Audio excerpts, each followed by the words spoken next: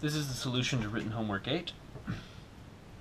So in part A, you're asked to multiply and collect like terms.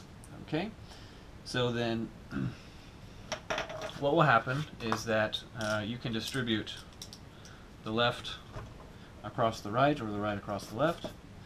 So what I'll do is I'll distribute um, I'll distribute this one into each of these. So to that one, to that one, to that one.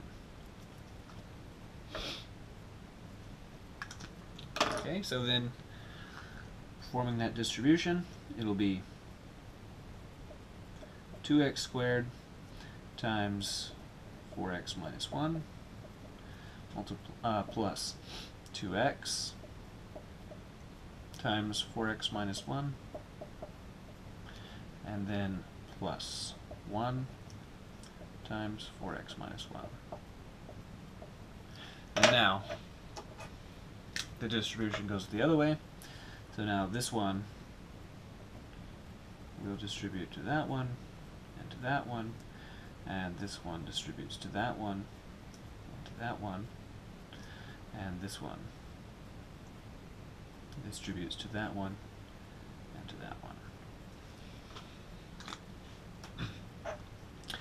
So that would be uh, 2 times 4 is 8 and x squared times x cubed is x uh, times x is x cubed.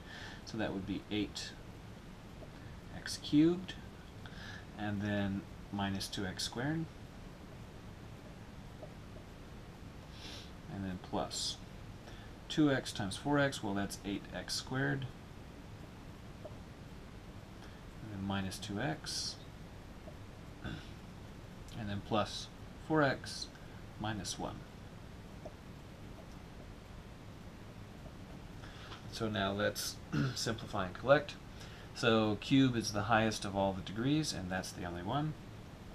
So that would be 8x cubed. Squares are next. So minus 2 and plus 8, so that's plus 6. x squared. And then uh, plus 4x minus 2x, so that's plus 2x. And then minus 1. For part B, uh, for part B, I'll use the sort of symbolic idea that the shape that we're looking for, this shaded area,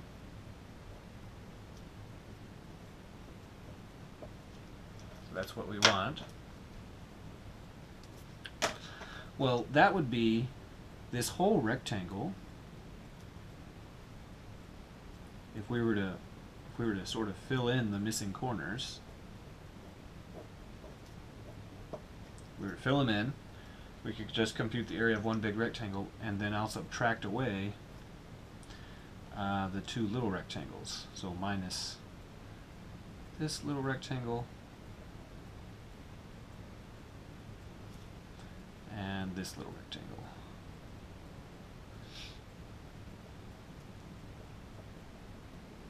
That'll be a little easier to deal with it that way. Okay.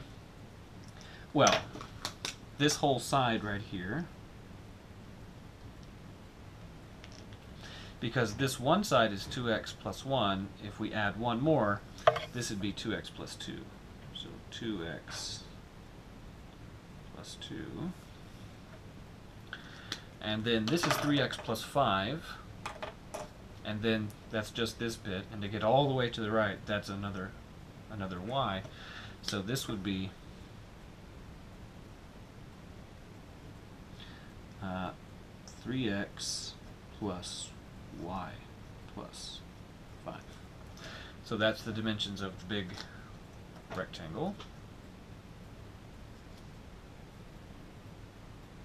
So the product of those two, so that'd be 2x plus 2 multiplied by 3x plus y plus 5 and then minus the little rectangle, so 1 times 1, and then minus the still little rectangle. So that'd be x times y.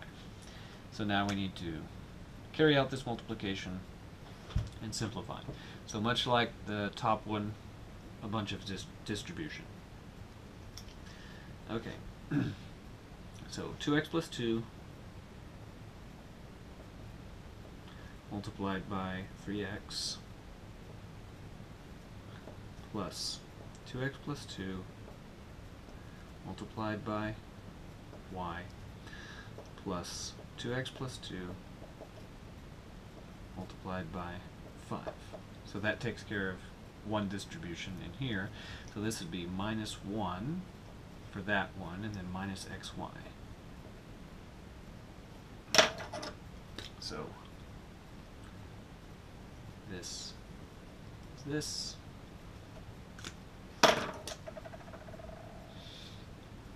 This is that. And these three terms are that one. okay, further distribution. So that would be uh, 3x times 2x. So that would be uh, 6x squared. And then plus 6x.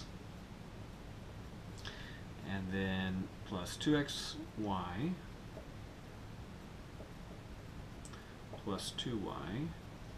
And then plus 10x plus 10. And then minus 1, and then minus xy. So let's collect everything. So 6x squared, that's all the squares. And now I'm going to take everything with that has at least two variables in a product. So I'll take the xy's and this xy. So this is 2xy minus 1xy. That'd be plus xy. So this is xx and this is xy. Now I'll take just the ones that have a single variable. So 6x plus 10x, that'd be 16x. Okay, now just the y's. So 2y, and that's it. So plus 2y. So these are all the things with two variables in product, all the things with one variable in product. And so now the constants, 10 minus 1 is 9. And that's the answer.